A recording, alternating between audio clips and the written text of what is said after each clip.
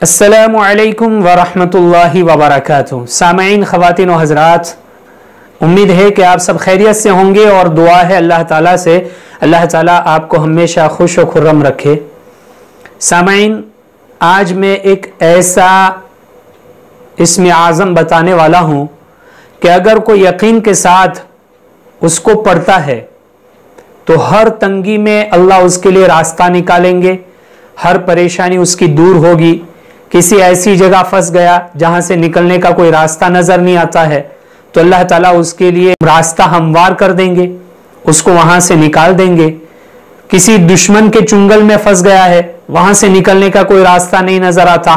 اگر وہ اس وقت اس اسم اعظم کو پڑھ لیتا ہے، اللہ تبارک و تعالیٰ ساتویں آسمان سے ایک فرشتے کو اس کی مدد کے لیے بھیجتے ہیں۔ بہت ہی پاورفل یہ اسم اعظم ہے۔ ابو امامہ رضی اللہ تعالیٰ عنہ فرماتے ہیں کہ پیارے آقا صلی اللہ علیہ وسلم نے ارشاد فرمایا کہ اللہ تبارک و تعالیٰ کی طرف سے ایک فرشتہ اس بات پر متعین ہے۔ اس کام کے لیے مقرر ہے کہ کوئی شخص یا ارحم الراحمین کہے تو فرشتہ اس کے جواب میں کہے، ارحم الراحمین نے تیری سن لی، مانگ، کیا مانگتا ہے؟ درخواست کر کیا درخواست کرتا ہے؟ یہ فرشتہ اس کے جواب میں کہتا ہے، یہ سیرت المصطفیٰ ایک کتاب ہے، اس میں یہ بات لکھی ہوئی ہے۔ اور اس میں ایک تجربہ بھی ہے، ایک صحابی حضرت زید بن حارثہ رضی اللہ تعالیٰ ان کے ساتھ ایک عجیب و غریب واقعہ پیش آیا۔ پیارے آقا صلی اللہ علیہ وسلم کے زمانے میں حضرت زید رضی اللہ تعالیٰ عنہ تائف سے واپس آ رہے تھے۔ تو واپسی میں انہوں نے ایک کھچر کرائے پر کر لیا اور کھچر کا مالک بھی ساتھ تھا۔ تو کھچر کا مالک کھچر کو لے کر چلا اور آگے جا کر ایک ایسی انجان جگہ پر کھچر کو کھڑا کر دیا جہاں سے کوئی راستہ ہی نظر نہیں آتا تھا۔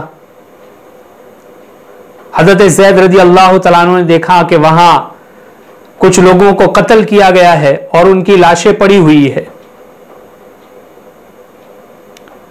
وہ کھچر کا مالک حضرت زید رضی اللہ تعالیٰ عنہ کو قتل کرنے کے ارادے سے آگے بڑھا تو حضرت زید رضی اللہ تعالیٰ عنہ نے کہا کہ بھائی ٹھہر جا، پہلے مجھے دو رکعت نماز ادا کر لینے دے۔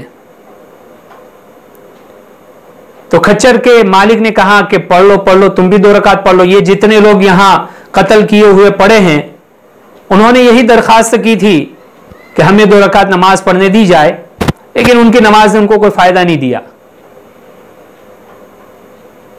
تو حضرت زید رضی اللہ تعالیٰ عنہ نے دو رکعت نماز پڑھنا شروع کر دی اور دو رکعت ختم ہو گئی۔ جب نماز سے فارغ ہوئے تو وہ کھچر کا مالک دوبارہ ان کو قتل کرنے کے ارادے سے آگے بڑھا۔ تو حضرت زید رضی اللہ تعالیٰ عنہ نے پڑھا، یا ارحم الراحمین اے بہت ہی زیادہ رحم کرنے والے، بہت زیادہ مہربان۔ جب انہوں نے یہ پڑھا تو غیب سے ایک آواز آئی کہ رک جاؤ، اس کو قتل مت کرو۔ خیر، وہ کھچر کے مالک نے ادھر ادھر دیکھا، لیکن اسے کوئی نظر نہیں آیا۔ وہ گھبرایا تھوڑا سا، لیکن اسے کوئی نظر نہیں آیا۔ تو دو بارہ اپنے ناپاک ارادے کو لے کر آگے بڑھا کہ حضرت زید رضی اللہ تعالیٰ کو قتل کر دوں۔ پھر انہوں نے پڑھا، یا ارحم الراحمین۔ پھر غیب سے آواز آئی کہ رک جاؤ، اس کو قتل مت کرو۔ اور گھبرایا۔ لیکن ادھر ادھر دیکھا کوئی نظر نہیں آیا۔ پھر اس نے تیسری مرتبہ ان کو قتل کرنا چاہا۔ حضرت زید رضی اللہ تعالیٰ عنہ نے جب تیسری مرتبہ یا ارحم الراحمین کہا، دل کی گہرائی سے یقین کے ساتھ، تو ایک گھوڑ سوار آتا ہوا نظر آیا، جس کے ہاتھ میں ایک نیزہ تھا۔ اور اس کے کنارے پر آگ کے شعلے بھڑک رہے تھے۔ وہ تیز رفتاری کے ساتھ آگے بڑھا اور اس کھچر کے مالک کو نیزہ مارا جو پار نکل گیا اور وہ مر کر کے زمین پر گر گیا۔ اور پھر حضرت زید رضی اللہ تعالیٰ عنہ سے کہنے لگا کہ جب آپ نے پہلی مرتبہ کہا، یا ارحم الراحمین، تو میں ساتویں آسمان پر تھا۔ اور جب آپ نے دوسری مرتبہ کہا، یا ارحم الراحمین، تو میں یہ آسمان جو ہمیں نظر آتا ہے، جس کو آسمان دنیا کہتے ہیں، اس آسمان پر تھا۔ اور جب آپ نے تیسری مرتبہ یا ارحم الراحمین کہا، تو میں آپ کے سامنے حاضر تھا۔ تو یہ کلمہ بہت ہی قیمتی اور پاورفل ہے۔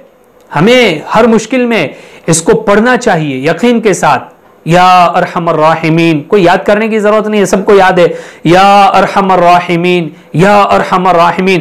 دل کی گہرائی سے کہیں انشاءاللہ ضرور اللہ تعالیٰ کی طرف سے مدد آئے گی۔